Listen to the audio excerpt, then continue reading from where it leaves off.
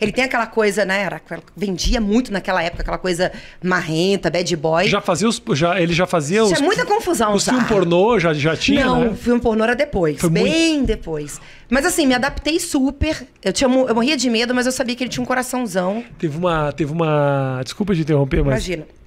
Eu me lembro, eu trabalhava na OutV. Era uma emissora pela Nossa, internet. eu sei Sabe o que é OutV? Eu cheguei a gravar alguma coisa. lá. OutV era um programa, um canal pela internet. Uma vez o Frota tava lá. E ele me Uhum. reconheceu, porque eu fazia os clipes lá da página do Rafinha. Ele me reconheceu. E veio me falar. Rafinha, porra, fiz pornô. Aí eu falei, na minha cabeça, tipo, o Frota foi o primeiro cara. É. conhecido Sim. a fazer pornô. Eu não conseguia acreditar. Falei, Frota, mas pornô como? Tipo, é pornô aquele que faz de conta, do sexy time do Multishow, que não, não que, que fica ali se roçandinho, mas, o Mas pinto tá mole. isso. Ele falou, não, porra, fui aqui, macetei mesmo. Aí eu falei, caralho, velho. E ali, como eu não acreditei, eu me lembro que ele, ele contando. Porra, aí é o seguinte, me mandaram nove meninas. Porra, e aí tomei meu negocinho, fiquei muito louco. E aí depois que, porra, fui nas nove, veio um- um- uma extra. Era um bônus. Era uma americana. E eu na minha cabeça pensei, porra, Brasil contra Estados Unidos. E aí, daqui a pouco ela pediu água e eu falei, ponto, ponto pro Brasil. Bem louco. Bem assim, né? Naturalmente. Bem ela louco, natural. cara. Mas era um negócio muito louco de imaginar que alguém conhecido tinha feito por depois, obviamente. Muita gente fez, mas É. nele, quando começou, era um negócio muito surpreendente. E do jeito que ele levava e falava desse jeito, por isso que eu fiz. Porque eu achei natural. Eu falei, deve ser assim mesmo, né? Uma Mas, coisa. mas você conversou com ele pra fazer? Não, a gente tava no, nós estávamos no Domingo Legal Hum. com o Gugu. E tinha aquela coisa do time masculino e feminino, certo? Uhum. Eu estava apresentando a minha revista, eu, tava, eu era capa da Sex, então eu tava lá, e ele, a capa do filme dele. E o mais surpreendente, isso era 4 horas da tarde. Então a gente tudo aqui, é, capa do filme, é louco isso, né? Se hoje não pode, né? É, eu Jamais. pelado aqui, galera. Quatro horas da tarde de horas domingo. da tarde, falando de pornô, eu da capa da Sex, o Gugu abrindo. Era aquela loucura. Ele pegou a minha É revista. mesmo, né? Eu nunca parei pra pensar É. o quão absurdo. Pô, a gente fazia banheira. E não tinha nada. Aparecia, né, o peito, as coisas. Saía os caras de pau duro de dentro da banheira. E, e ria, e todo mundo batendo palma. E ótimo. E nada acontecia. Você viu quando foi tentar fazer voltar a banheira que Nossa. bermuda até o joelho, não podia encostar em De ninguém. toga de, de formatura. É, foi uma louca. É muito Mas aí louco, quando é. você foi capa da sexy, por quê?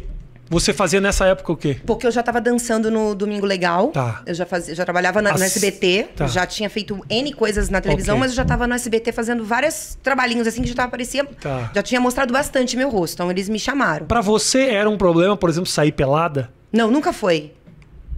Eu queria falar assim, eu sei. Tem gente que fala assim, faz uma linha, Vivi, pelo menos. Não minha mãe fala, minha mãe linha, fala, não. faz um tipo, cara. que- Fala que, que você tinha um pouquinho de vergonha. Olha, Vivi, Não, eu acho que o não. barato, o barato de você é você falar essas coisas com naturalidade, porque a quantidade de gente traumatizada pela indústria Não. e uma dor que eu nunca sei se é verdade ou não é. Mas É, é assim, ó, eu vou te falar que eu, eu não vou citar nomes, né? Mas eu, eu conheço muitas pessoas dessa minha época que capa pra caramba, fizeram muita coisa e que tem muito trauma. Toma um remédio controlado e tudo. Aí às vezes eu fico pensando, será que ela que é a certa e eu sou errada? Não. De ser muito. Foram E não opções que- ligar, será que eu tô louca? Eu acho que será não. que eu devo me preocupar? Foram opções que você fez de forma voluntária, gente. Ninguém te É. obrigou a fazer nada. E eu lembro que a- pra fazer. Ou te obrigou? Não, né? Não. Pra fazer revista, sempre tinha uma bancada, assim, com várias roupas. Eles me enganavam sempre. Então chegava, você veste isso aqui pra gente? Então era lingerie em cima de um negócio, mas não sei o quê. Era, você senta ali no sofá, você faz a primeira pose. Era só a primeira.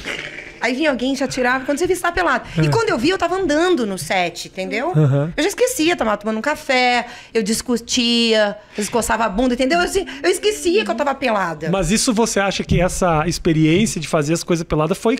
Se você não tivesse tido essa experiência, você nunca teria conseguido fazer pornô? Ou não? Não, é muito diferente. É muito, Nossa, é muito diferente. nada a ver uma coisa com a outra. Nada a ver uma coisa Mas antes de você falar disso, me fala lá. Quatro horas da tarde, lá fazendo menino contra as meninas, ponto para os meninos. E Isso. aí? E aí o Frota falou assim, quando acabou o programa, ele falou assim: me dá sua revista que eu vou levar pra uma pessoa. Mas eu nem perguntei pra quem. Pra mim era um amigo dele, sei lá. Segunda-feira me liga.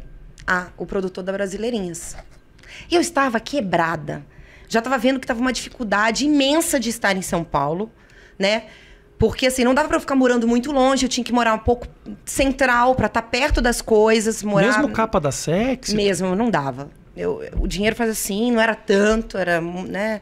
Tinha muita mentira envolvida. Então, o que aconteceu? Eu já fiquei balançada, porque ao mesmo tempo que eu queria, eu não queria. Por quê? Como assim? Ah, eu queria aceitar, eu queria ah, ah, o dinheiro, mas eu não queria, porque eu sabia que é uma grande exposição. Eu tinha essa verdade, né? Uhum. E aí eles me ofereceram um valor, eu desliguei, eu estava com o meu namorado da época, que, eu, que fez o filme até. Falei com ele assim, ó, eles me ofereceram tanto, eu vou falar o dobro. Ele falou, não, fala o triplo. Aí eu falei, é mesmo. Porque eu não queria que aceitasse. Sabe quando você quer que aceite, mas É, não quer? Eu falei, não vou falar. E aí eles aceitaram.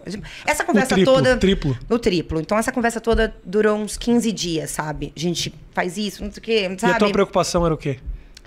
Família, lógico, né? Porque é uma coisa imediatista. A gente vai falar disso, mas pega o dinheiro e tal, mas o, o pós, né? Disso tudo.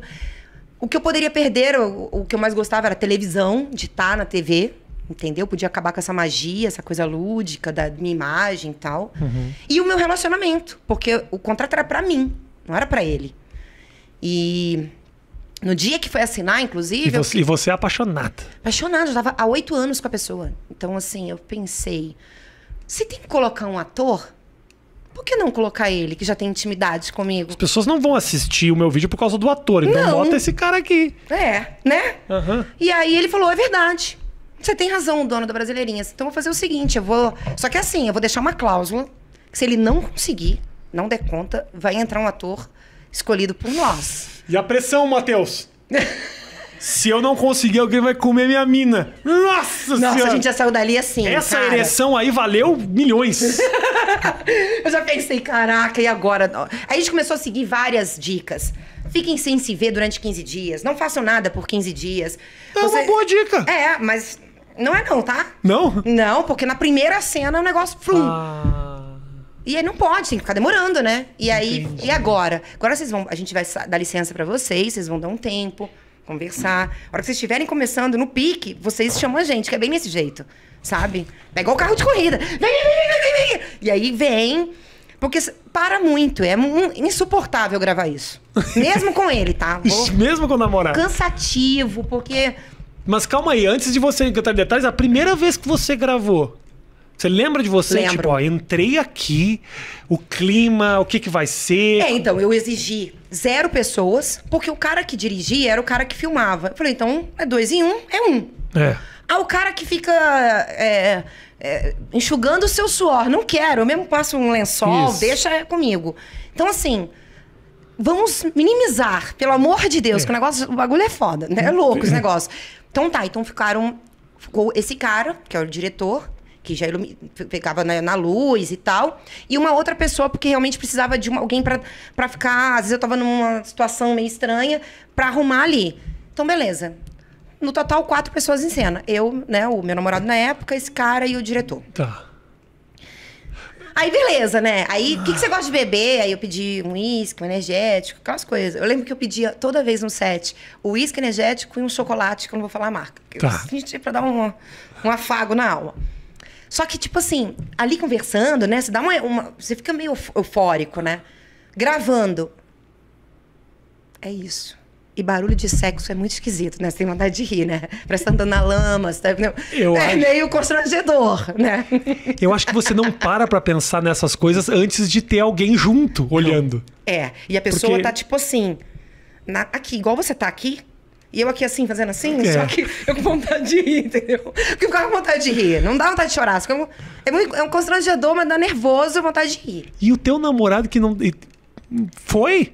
E aí ele conseguiu. No final, a gente, nós assinamos um contrato de quatro filmes. Não precisou substituir? Não precisou. Porque eu fiquei assim, né? Porque eu já tava já, eles, eu falei, eles vão pegar aquele ator mais exagerado, se é que você me entende, já pra compensar. Eu falei, não, pelo amor de Deus, tem que dar tudo certo. E deu. E deu porque vendeu, no primeiro vendeu muito. E vendeu por conta disso, porque realmente era um casal. E a gente, apesar de. Assim, eu, eu sempre odiei filme pornô, tá? Mas esse filme foi vendido. Por que, e... que você já foi um pornô? Ah, eu acho, eu acho muito. Sem antes de fazer, acho muito forçada. Aquelas posições não são. Ninguém faz aquilo, né? Não? Não, é muito. é, sabe, muita Não, sim, coisa. isso sim, isso sim. Algumas coisinhas ok, É que mas. o pornô hoje em dia já tem umas coisas mais tranquilas também. Então, e aí a mulherada adorava. Porque mulher é mais visual, sabia que era casal,